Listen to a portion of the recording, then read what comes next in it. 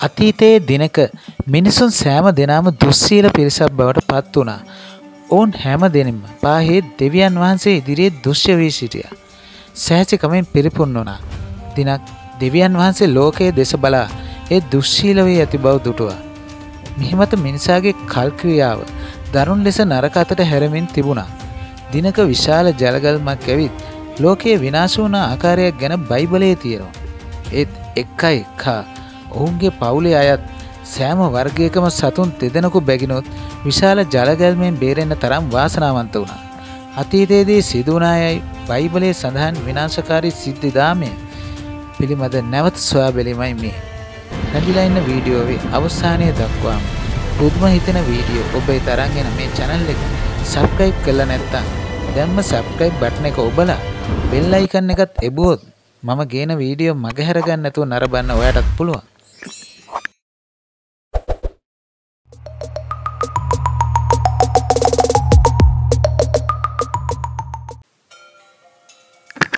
බයිබලයේ සඳහන් වන පරිදි මහා ජලකඳක් ගැලීමට එකම හේතුව ලෝපුරාම් පාහේ පැතිරිලා තිබුණු මනුෂ්‍යන්ගේ දුෂ්ටකම හින්දා. මිනිසාගේ මේ ක්‍රියාකාරකම් හින්දා දැඩිව දෙවියන් වහන්සේ කලකිරුණු බවත් පාපිෂ්ට වූ නිසා සියලු දෙනාට දඩුවම් කරන බවත් බයිබල් කතුවරය පවසනවා. මැවුම්වාදේ විස්මිත නිර්මාණයක් වූ මිනිසාම ඔහු විසින් කරන ලබන පාපී ක්‍රියා මුළු මහත් මැවිල්ලටම විනාශකාරී අන්දම නොවා හා ජලගැල්ම අපිට පාඩම් කියල දෙනවා. බයිබලයේ සඳහන් වෙන ආකාරයට මේ අතරින් වඩාත් සුවිශේෂී බොහොම හොඳ මනුස්සයකුත් ඉඳලා තියෙනවා. ඒ තමයි නෝවා. වචනයේ පරිසමත්ත අර්ථයෙන්ම ඔහු සත්පුරුෂයෙක්. නොමිනිසුන් අතර සිටි එකම මිනිසාද නෝවා පමණයි. ඒ නිසා දෙවියන් වහන්සේගේ කරුණාව දයාව ඔහු වෙත නෝදවනු ලැබුණ කියලා පැවසෙනවා. ෂෙම් හාම් ජපයෙන් කියලා ඔහුට පුතුන් තුන් දෙනෙකුත් හිටියා. පාපයේ විනාශකාරී බලය ලෝ පුරා වර්ධනය වුණත් නොවා හා ඔහුගේ පවුලේ අයත් සියලු සත්ව නියෝජනයත් බෙරා ගැනීම තුළින් නම් එක දෙයක් ඉඳුරාම් පැහැදිලි වෙනවා. ඒ යහපත දෙවියන් අදහන බවත් නපුර සෑමයිටම ප්‍රතික්ෂේප වන බවත්. යහපත් ක්‍රියාවේ යෙදෙන්නන්ට දේව බැල්මහා දේව ආකර්ශණය නොමදම ලැබෙන බවත් මෙයින් අපට කියා දෙනවා. බයිබලයට අනුව දෙවියන් ආරක්ෂා කිරීමට අවශ්‍ය වුණොත් එකම ධර්මිෂ්ඨ මිනිසා නොවා පමණයි. ඒ නිසා දෙවියන් තමන් කරන්නට යන ලෝක විනාශය කලින්ම ඔහුට දන්වල දිගරියන් තුන්සීයක් පලල් රියන් පණහක් උස රියන් තිහක් වූ නැමක් හදන්න කියලා නෝවාට අන දුන්නලු. බයිබලය ආක් කියලා හඳුන්නලා තියෙනවා. ඒත් එක්කම මේ නැම තට්ටු තුනකින් සමන්විත එන්න ඕනි කියලත් නියම කරලා තියෙනවා. නැවෙන් නෝවා විතරක් නෙමේ ඕකේ පවුලේ සියලු දෙනාමත් ලොව සියලු සත්වයන්ද ආරක්ෂා කරගත ඇතු වුණා. ගං වතුර නිමවනතුරු දීර්ඝ කාලයන් නැවේ ගත කරන හැම දෙනාටම අවශ්‍ය සෑහෙන තරම් ආහාරත් නැවට පටවන්න කියලා දෙවියන් නොවට අනදුන්නලු. නෝවා නැව හදනවා දැකලා ගොඩක් පිරිස් නෝවට උසුළු ඉස්ලු කළා. හිනා වුණා ඒ එකකින්වත් නෝව නම් සැලුනේ නෑ. තමන්ගේ කාර්ය දිගටම කරගෙන ගියා. නැව තැනීමට උපදෙස් ලැබුණේ විශාල රිජු කෝනාශ්‍රාකාර පෙට්ටියක් ආකාරයෙනුයි. ඒ වගේම පැතලි පතුලක් එහිට තිබුණා. එහි ඉදිරිපසත් පසුපසත් සමමිතික වුණා. ඒ වගේම මේකේ පාලනයට සුක්කානමක් නැත්තම් නැව හසුරුවන කිසිම උපකරණයක් තිබුණෙත් නැහැ. නැවේ හබල් රුවල් මේ කිසිම දෙයක් නැහැ.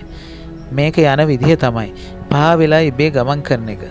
සුදුසු ස්ථානයක ඉබේ නවතින තමයි මේක සැලසුම් වෙලා තිබුණේ.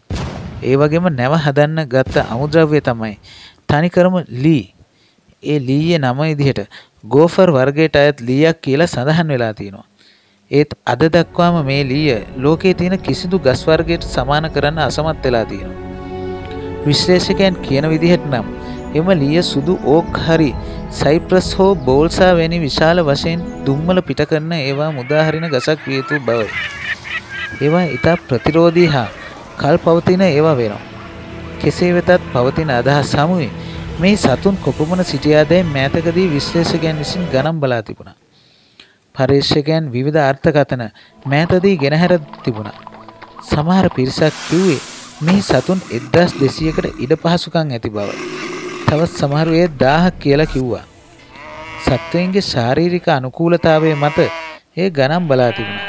ඇතැම් මූලාශ්‍ර වල සඳහන් වන්නේ සමහර සතුන්ගෙන් පිරිමි සතා හා ගැහැණු සතාත් අනිත් සතුන්ගෙන් හත් දෙනා බැගිනුත් කුරුළු වර්ග සියල්ලන්ම නැවට පටවන ලෙස දෙවියන් විසින් නොවාට අන කළ බවයි. තවත් කාරණයක් තමයි එකතු වතුර බිදුවක්වත් නැව ඇතුළට නොයන ලෙස නැව සකස් කරන්න කියලා දෙවියන් නොවාට උපදෙස් දුන් බවයි. නැව ගොඩාක් විශාල නිසා නැව හදන්න ගොඩාක් කල් ගියා කියලත් සඳහන් වෙනවා. මේ සිද්ධියට මුල් වෙච්ච දෙවියන්ගේ නම තමයි යෙහෝවා. යෙහෝවා දෙවියන් කියන විදිහටම නැව හදන්න නොවා ක්‍රියා කළා. කෙසේ වෙතත් නැව ගොඩාක් විශාල නිසා මේක හදලා ඉවර කරන්න වසර ගණනාවක්ම ගත වෙලා තියෙනවා කියලා මූලාශ්‍රවල සඳහන් වෙනවා. නැව හදලා ඉවර වෙලා දින 7කට පස්සේ විනාශයේ මම් පෙත විවර වුණා. දවස් 40ක් හා රාත්‍රීන් 40ක් නොකඩවා වැසි වැස්ස කියලා සඳහන් වෙන අතර සියලුම දේ විනාශ වෙලා ගියා. මහා කඳුමුදුන් වලටත් උඩින් ජලය ගලා ගියා. පෘථිවි පෘෂ්ඨයෙන් ජීවය සහ මුලින්ම විනාශ වෙලා ගියා. සරලව කියනවන අතුගාවලම දැම්මා. බයිබලයේ සඳහන් කරන ආකාරයට ජලගැල්මෙන් කඳු ඇහිලා ගිහිල්ලා නැව තුල සිට පිරිස පමණක් ඉතුරු වුණා. නැව පාවෙලා ගිහිල්ලා අරරත් කන්දේ නතර වුණා. වැස්සේ නතර වෙලා කඳුමුදුන් නැවත මතුවීමට පටන් ගත් අතර නොවට අවශ්‍ය වුණේ ජලය සම්පූර්ණයෙන් බැස ගියාදැයි දැන ගැනීමටයි. ඔහු ප්‍රථමයෙන් කපුටෙකු නිදහස් කර බලා නැවත පරවියෙකු යවා පැය ගන්නකට පසු ඌ ආපසු පැමිණි නිසා ගොඩබිම තවමත් ජලය තිබෙන බව දැනගත්තා. තවත් දින කීපයකට පසුව ඔහු නැවතත් පරවියා යවූ අතර ඌ නැවත ඔලිව් අත්තක් හොටේ රඳවාගෙන නැවට පැමිණිය. එයින් ජලය බැසගොස් ගස්කොලම් මතු ඇති බැව් ඔහුට තේරුම් ගියා. කෙසේ වෙතත් තවත් දිනක නැවතත් පරවියා යව්වත් ඌ නැවත නොපැමිණි බවත් ඒකේ තේරුම පොළොව සම්පූර්ණයෙන්ම ජලයෙන් නිදහස් වී ඇති බව ඔහුට තේරුම් ගියා. ඉන් පස්සේ නොවා විසින් සතුන් නිදහස් කළ අතර ඔහු විසින් දැඩි වෙහෙසක් දරා රැකගත් සතුන් නව ජීවියක් ඇරඹීම පිණිස විසිර ගියා. ගොඩබිමට ගිය විකස නොවාත් ඔහුගේ පවුලේ අය තම කෘතඥතාවයේ යෙහෝවා දෙවියන්ට පළ කිරීමට තීරණය කළා. එම පූජාවෙන් යොහෙවා දෙවියන් ඊතා සතුටට පත් වුණ අතර නැවතත් මෙවැනි ජලගැල්මකින් සියලු සතුන් විනාශ නොකරන බවට ප්‍රතිචාවද්ද දුන්නා. එම ප්‍රතිචාව මතකෙට නැගෙනු පිණිස වලාකුළම් මත දේ දුන්නම් මැව්වා කියලා මූලාශ්‍රවල සටහන් වෙනවා. මෙම කතාව බයිබලයට පමණක් සීමා වුවක් නොවේ. එය තෝරා හා කුරාණය වැනි යුදෙව් ආගමේ පූජනීය පොත්වලද සඳහන් වෙනවා. වෙනත් වෙනත් ඉතිහාස පැරණි අත්පිටපත්වල මෙම කතාව බයිබලයේ විස්තර කර ඇති කතාවලට බෙහෙමින් සමාන වෙනවා. සුමේරියානු සංස්කෘතියේද පුරාණ රජගෙනකොට දෙවියන් වහන්සේ විසින් අනතුරු අඟවා කියා සිටියේ නැවකට ගංවතුරකින් බේරීමට හැකිවන පරිදි ඉහළ දෙවිවරුන්ගේ සභාව විසින් විශාල ගංවතුරක් එවීමට නියමිතව තිබෙන බව. නොවා හා නෞකාව කෙසේ වෙතත් අතීතයේ මෙවැනි ජලගැල්මකින් මුළු පෘථුවියම විනාශ වුණු වග පර්යේෂණ ඇසුරින් විද්‍යාඥයන් විසින් මේ වෙනකොට සොයාගෙන තිබෙනවා. ඒ බයිබලයේ සඳහන් ආකාරයට සිදු වූ විශාලම විනාශයකට එනම් ලෝක විනාශයකට හා සමාන බව විද්වතුන්ට පිළිගන්න සිද්ධ වුණා. මේ වෙනකොට අරරත් කන්ද තරණය කරලා මේ සිදුවීම කොතෙක් දුරට එලිපෙහෙලි කරගන්න නොවාගේ නැව සොයන්න විවිධ මට්ටමේ කණ්ඩායම උත්සාහ අරන් තියෙනවා. චීන පර්යේෂකයන් කණ්ඩායමක් කියන විදිහට ඔවුන් නොවාගේ අය විශ්වාස කරන්න පුළුවන් නැවක සලකුණු සොයාගෙන තිබෙනවා. ඒකේ ඡායාරූපත් අරන් කරපු කාබන් පරීක්ෂණ වලින් මේ තියෙන නොවාට අයත් එම කාලයේ තරම්ම පෞරාණික නැමක් කියලා ඔප්පු කරගෙන තියෙනවා. තවත් කණ්ඩායම් නොවාගේ නැවයයි සැලකෙන ආකාරයේ සැකිල්ලක් සොයාගත්තා. මේ පිළිබඳව අදහස් දක්වන මිනිස්සු නම් කියන්නේ එහෙම දෙයක් සිදුවුණේ නෑ කියලා. තවත් පිරිසක් මේ සිදුවීම සත්‍යයක් ලෙස පිළිගන්නවා. කොහොම එතත් අතීතයේ සිට පැවතෙන කතාවක් සවිස්තරාත්මකව ගෙනහැර දැක්වීමට ඒ පිළිබඳව පුළුල් ගවේෂණයක් කිරීමේ උත්සාහයක අවසානය සනිටුහන් කරනවා. ඉතින් ගිහින් එන්නම්. තවත් මෙවැනි වටිනා වීඩියෝවක් රැගෙන ඔබ හමුවට එනතෙක් ඔබට සුබ දවසක් ප්‍රාර්ථනා කරනවා. ඒ වගේම channel එක subscribe කරලා bell icon එක ඔබන්නත් අමතක කරන්න එපා.